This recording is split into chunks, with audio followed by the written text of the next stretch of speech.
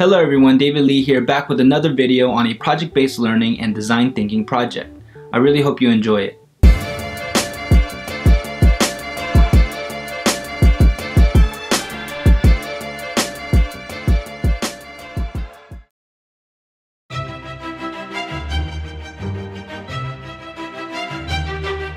For this project, our kindergarten students were provided with the following scenario. Our school leaders would like to help our school become more environmentally friendly. Our kindergarten environmentalists are asked to come up with ideas to help our school and share their ideas and recommendations with the school in the form of a digital manual.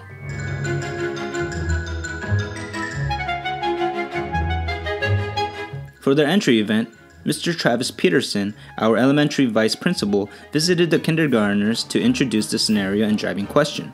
The entry event was designed to capture the interest of our students about the specific topic. We also created a video of the entry event and showed it periodically throughout the project.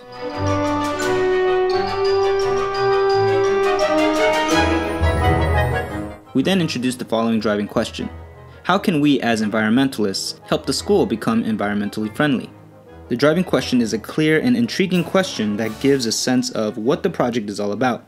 It should be connected to an instructional goal and helps drive exploration. The project integrated multiple subject areas. To answer the driving question, students learned about the interdependent relationships in ecosystems, the pattern of needs among plants, animals, and humans, as well as their impact on the environment. For literacy, students read books on animals and what humans do that could impact the environment. In technology with Megan Godek, kindergartners learned how to use Google Slides and Google Drawing to add their ideas into a digital manual. In social studies, they learned how to be a good helper at school and our roles as humans to take care of the earth.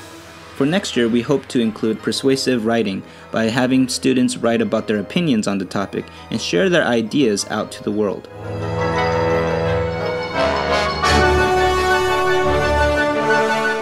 Students used the design thinking process to develop ideas that the school could use to become environmentally friendly.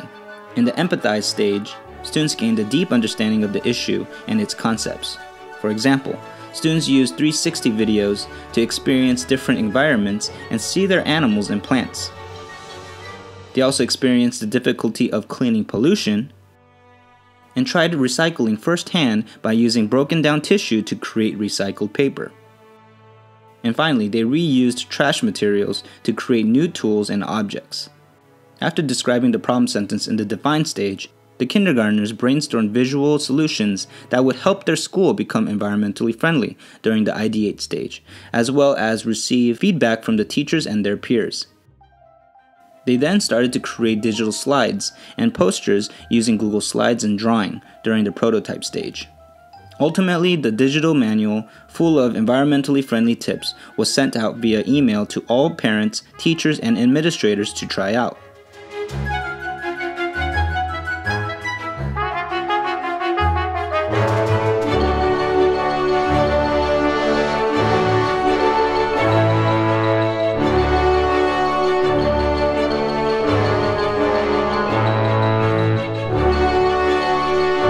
Well, that wraps up the overview video. Hope it has given you a glimpse of what is possible when incorporating project-based learning and design thinking into learning. I would like to give a special thanks to the following for making this project happen. Please like the video and subscribe to the channel if you would enjoy content similar to this.